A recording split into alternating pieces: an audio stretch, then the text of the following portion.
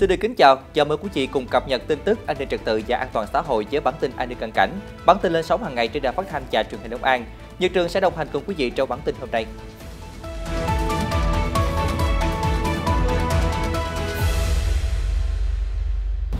Thưa quý vị, chiều ngày 24 tháng 6, Công an thành phố Đà Lạt, tỉnh Lâm Đồng đã có báo cáo nhanh về vụ quả quạng xảy ra tại căn nhà số 92, đường Quyển Phi Ý Lan, phường 7, vào sáng cùng ngày khiến ba cháu nhỏ tử vong. Cụ thể, theo Công an thành phố Đà Lạt, vụ cháy xảy ra tại căn phòng của bà Nguyễn Thị Tâm, 52 tuổi, quê Nghệ An, đến làm giường thuê và ở lại cùng gia đình chủ nhà từ năm 2021 đến nay. Chiều tối ngày 23 tháng 6, chị Đậu Thị Tú sinh năm 1995, con gái bà Tâm, dẫn các con gồm một bé trai 6 tuổi, một bé gái 4 tuổi, một bé trai 9 tháng tuổi đến Đà Lạt thăm bà Tâm và ở lại. Sáng ngày 24 tháng 6, chị Tú đang ở cùng ba con nhỏ tại căn phòng của bà Tâm. Trong lúc nấu ăn, chị Tú đi ra ngoài để mua sữa cho con, nhưng quên tắt bếp và cũng khóa cửa phòng từ bên ngoài. Nhận định ban đầu của cơ quan chức năng, nguyên nhân do khi đi ra khỏi phòng, chị Tú quên tắt bếp ga dẫn đến vụ quả quạng nêu trên. Sau khi khi đám cháy được khống chế thì cả ba cháu nhỏ tử vong tại chỗ, căn phòng của bà Tâm cũng bị thiêu rụi hoàn toàn. Công an thành phố Đà Lạt đang phối hợp với các cơ quan chức năng thu thập thông tin làm rõ vụ việc. Cũng là một thông tin liên quan đến quả quạng khoảng 20 giờ 30 phút hôm qua ngày 24 tháng 6, một đám cháy lớn bất ngờ bùng lên tại một cửa hàng kinh doanh đồ điện lạnh ở xóm 3, thị trấn Yên Định, tỉnh Nam Định. Cột khói đen bốc cao bao trùm một khoảng trời. Thời điểm xảy ra cháy, trong nhà có 4 người đã kịp thời thoát sang nhà hàng xóm. Ngôi nhà bị cháy có 4 tầng, lửa bắt đầu bùng phát từ tầng hầm rồi lan lên các tầng trên. Nhận được tin báo, cơ quan chức năng đã điều động xe chữa cháy cùng hàng chục chiến sĩ cảnh sát phòng cháy chữa cháy và cứu nạn cứu hộ tới hiện trường dập lửa. Khoảng 21 giờ 30, đám cháy cơ bản được khống chế. Vụ cháy thiêu rụi ngôi nhà cao tầng với nhiều tài sản là đồ điện lạnh, tổng thiệt hại tài sản ước tính tiền tỷ. Phòng Cảnh sát điều tra tội phạm về ma túy Công an tỉnh Trà Vinh vừa ra quyết định tạm giữ hình sự Nguyễn Thị Thúy Chân, 56 tuổi, ngụ phường An Bình, thành phố Di An của tỉnh Bình Dương để điều tra về hành vi vận chuyển trái phép chất ma túy. Khoảng 6 giờ 30 phút hôm qua ngày 24 tháng 6 tại một quán ăn trên địa bàn phường 8 thành phố Trà Vinh, Công an thành phố Trà Vinh phối hợp cùng với Phòng Cảnh sát điều tra tội phạm về ma túy Công an tỉnh Trà Vinh bắt quả tang dân tàn trữ ba túi ni lông chứa chất màu trắng, khám xét các túi đồ và ô tô của dân, công an phát hiện thêm hai túi ni lông chứa chất màu trắng và nhiều tài liệu đồ vật liên quan. Bước đầu, dân khai số chất trên là ma túy, tổng trọng lượng 512,64 gram, do dân vận chuyển thuê từ huyện Hóc Môn, thành phố Hồ Chí Minh về Trà Vinh tiêu thụ. Vụ việc đang được Phòng Cảnh sát điều tra tội phạm về ma túy Công an tỉnh Trà Vinh tiếp tục mở rộng điều tra, xử lý theo quy định của pháp luật. Tại Lào Cai chiều qua ngày 24 tháng 6, Công an huyện Bảo Yên đã ra lệnh giữ người trong trường hợp khẩn cấp đối với ba đối tượng hành hung lái xe trên cao tốc Nội Bài Lào Cai. Trước đó, trên mạng xã hội lan truyền một đoạn clip ghi lại cảnh tài xế ô tô bị ba đối tượng hành hung trên cao tốc nội bài Lào Cai. Sự việc xảy ra vào sáng ngày 22 tháng 6. Tại cơ quan điều tra, lái xe Nguyễn Văn Tạo khai, do khi xảy ra va chạm, mặc dù đã ra tín hiệu yêu cầu dừng xe để giải quyết, nhưng chủ xe tải vẫn không dừng lại mà tiếp tục bỏ đi. Do quá bức xúc trước hành động đó nên Tạo đã cho xe chặn xe tải lại và hành hung lái xe tải. Cơ quan cảnh sát điều tra công an huyện Bảo Yên đang tiếp tục điều tra để xử lý các đối tượng theo đúng quy định của pháp luật.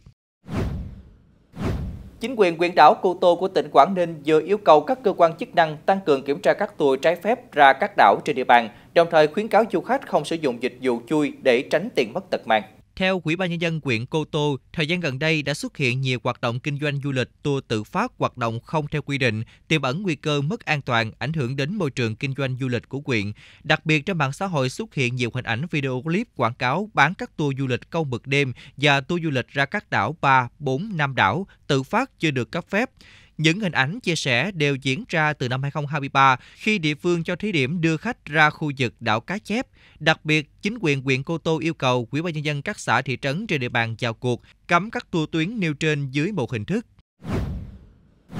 cũng tại tỉnh Quảng Ninh, từ ngày 22 đến ngày 24 tháng 6 trên địa bàn phường Cẩm Sơn, thành phố Cẩm Phả, liên tiếp xuất hiện các hố tử thần trong các khu vực dự án khu đô thị và khu dân cư. Địa phương đã nhanh chóng xử lý các hố sụt và lập hồ sơ ra thông báo đến các hộ dân có nguy cơ ảnh hưởng, di dời đến nơi khác để đảm bảo an toàn.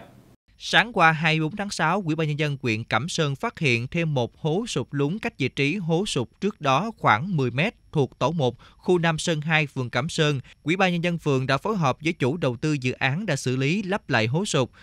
Trước đó, lúc 7 giờ 15 phút ngày 22 tháng 6, Ủy ban nhân dân phường Cẩm Sơn nhận được thông tin phản ánh của người dân về việc phát hiện vị trí sụp lún xung quanh lô thuộc tổ 1 khu Nam Sơn 2, phía sau giáp đường và nhà dân. Đến 13 giờ ngày 23 tháng 6, Ủy ban nhân dân phường tiếp tục nhận được tin báo trong kho chứa đồ đạc của một gia đình phát hiện thêm một hố sụt ở vị trí liền kề, cách hố sụt ngày 22 tháng 6 khoảng 6 mét. Theo đánh giá ban đầu, các hố sụt trên tiếp tục có dấu hiệu phát triển. Biện pháp trước mắt là di chuyển hết tài sản và người ra khu vực có nguy cơ sụt lún. Theo dõi diễn biến sự phát triển thêm của hố sụt, khuyến cáo các hộ dân xây dựng mới trong khu dân cư khi xây dựng nhà nên dùng biện pháp khoan móng, cọc nhồi hoặc ép bê tông cốt thép để đảm bảo giảm thiểu tối đa sự ảnh hưởng của việc sụt lún trong khu dân cư đã diễn ra rất nhiều năm gần đây. Thành phố đã báo cáo Ủy ban nhân dân tỉnh, Sở Khoa học và Công nghệ đưa vào nhiệm vụ khoa học công nghệ để xử lý tổng thể, đồng thời thông báo đến các hộ có nguy cơ bị ảnh hưởng tạm thời di dời để đảm bảo an toàn.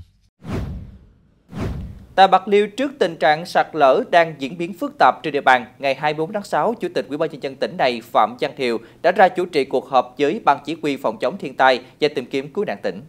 Mặc dù chỉ mới bắt đầu mùa mưa nhưng trên địa bàn tỉnh Bạc Liêu liên tiếp xảy ra các vụ sụt lún sạt lở ảnh hưởng lớn đến đời sống và tài sản và tính mạng của người dân. Đại diện các sở ngành địa phương đã báo cáo nhanh tình hình và đề xuất biện pháp xử lý, khắc phục trước mắt những giải pháp mang tính lâu dài, ổn định trong thời gian tới. Trong đó đặc biệt kiến nghị tỉnh cần ưu tiên nguồn vốn để khắc phục sạt lở, gia cố điểm sạt lở, có phương án xây dựng khu tái định cư cho người dân dùng sạt lở, công bố tình trạng khẩn cấp khi trên địa bàn xuất hiện thiên tai sạt lở nguy hiểm cấp bách. Để chủ động phòng chống, hạn chế tối đa thiệt hại, Chủ tịch Ủy ban nhân dân tỉnh Bạc Liêu yêu cầu tăng cường hơn nữa công tác tuyên truyền cho nhân dân sống ven sông, ven kênh rạch, chủ động phòng tránh, đặc biệt không nên lấn chiếm lòng sông để xây dựng các công trình nhà ở. Về lâu dài, tỉnh Bạc Liêu sẽ ưu tiên bố trí vốn trung hạn để ưu tiên xây dựng các kè chống sạt lở để bảo vệ tài sản, tính mạng và đảm bảo cuộc sống của người dân tại các vùng sạt lở.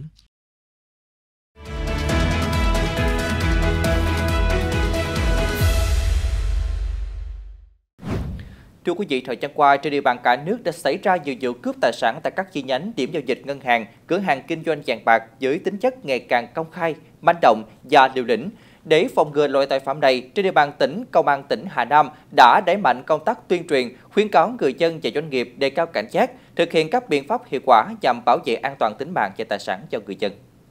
Trên địa bàn tỉnh Hà Nam hiện có 24 ngân hàng đang hoạt động và 54 cơ sở kinh doanh vàng bạc đá quý. Để bảo vệ tài sản và phòng ngừa tội phạm trộm cắp, cướp tài sản, các văn phòng giao dịch tiệm vàng đã lắp đặt hệ thống camera an ninh, trang bị kính cường lực cho tủ trưng bày vàng bạc đá quý và bố trí nhân viên bảo vệ có khả năng phản ứng xử lý tình huống linh hoạt khi có sự việc mất an ninh an toàn xảy ra.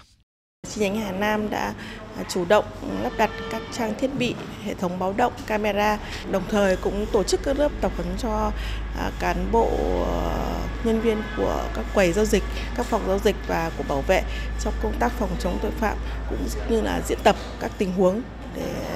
phòng chống tội phạm.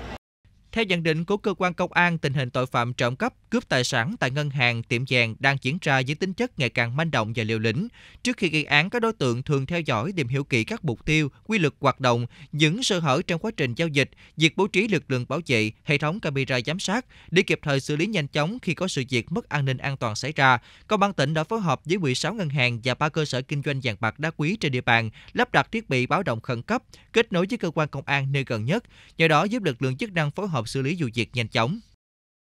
Khi mà có cái kết nối đối tượng nó manh động đến để trộm cướp thì hệ thống sẽ vận dụng cái cái kỹ thuật của điện thoại tự động đến các cái số máy mà có liên kết như là à, cảnh sát 113, công an phường cũng như là các cái hệ thống máy và các đơn vị đăng ký.